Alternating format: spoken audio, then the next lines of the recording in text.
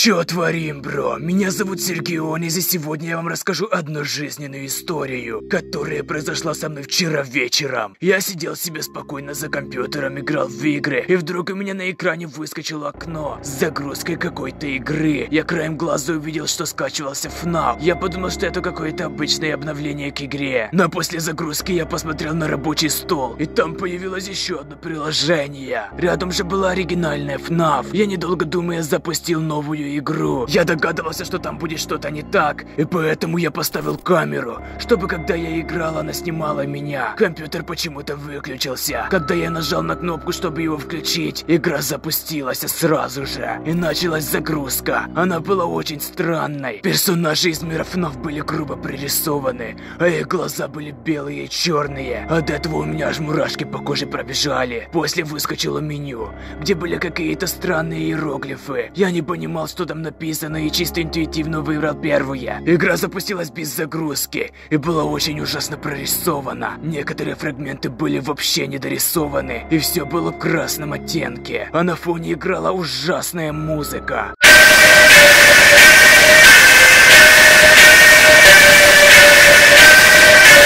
Начал играть, как обычно, в FNAF, включал и выключал фонарь. Но когда я одел маску, то появились красные пятна на экране, как будто маска резала мое лицо. Я переключал камеры на планшете, и все было как обычно. Я уже подумал, что это был какой-то сбой, и это просто первоначальная заготовка по игре. Но вдруг по экрану пошли помехи. После помех было темно. Я не понимал, что происходит. Я выключил и включил монитор, но ничего не происходило. На экране выскочила надпись «You died», что переводе означает «ты умрешь». Игра продолжилась, но все стало очень темно. Я очень сильно испугался и хотел выйти с игры, но кнопка «Искать» не работала. И когда я попробовал вытянуть шнур от компьютера с розетки, то ничего не происходило. Он тупо не выключался. Я сидел в шоке, но мой шок перервала смс, где было написано «Играй». У меня не было выбора, и я продолжил играть. На мониторе еле было что-то видно. Игра была уже совсем темной, но когда я одевал маску, то по экрану уже текла кровь. Это означало, что маска уже полностью разрезала лицо моего персонажа. Кровь была очень реалистичной. Пару раз я думал, что она течет у меня по лицу. Я очень старался выиграть, хотя это было очень сложно. И вот уже было 5 часов, но числа начали сбиваться, и экран просто побелел. Дальше я ничего не помню, но камера записала все. Мои глаза стали белыми. Я сидел и ничего не делал, разве что только двигался вперед и назад. Через пару минут пошли помехи, и запись оборвалась. К сожалению, я не знал, что было дальше, но очнулся я уже с телефоном в руках. Никогда не ведитесь на такие игры. Кто знает, что они могут означать. Перед тем, как делать это видео, я перешел по странной ссылке, и игра начала снова скачиваться. Но я отклонил. Если кто-то хочет ссылку на эту игру, то пишите в директ. Попытаюсь всем скинуть. Здесь не могу, потому что YouTube блочит все странные ссылки. На этом все. С тобой был Сергионис. Поставь лайк, тебе это всего лишь 2 секунды, а мне очень приятно.